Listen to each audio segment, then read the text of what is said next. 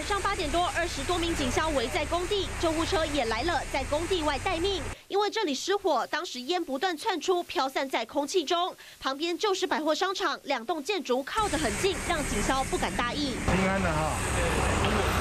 工地失火，不过民众似乎没在怕，有人站靠近围观，也有人悠闲逛大街，边走还边扇风驱散烟味。起火点的部分是位于。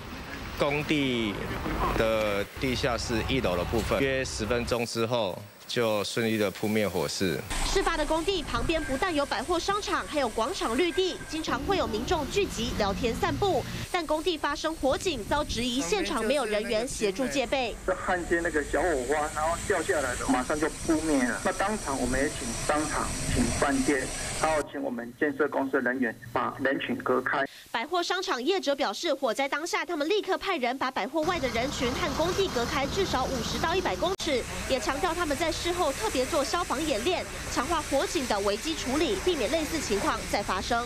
记者黄翔富、王世涵台中采访报道。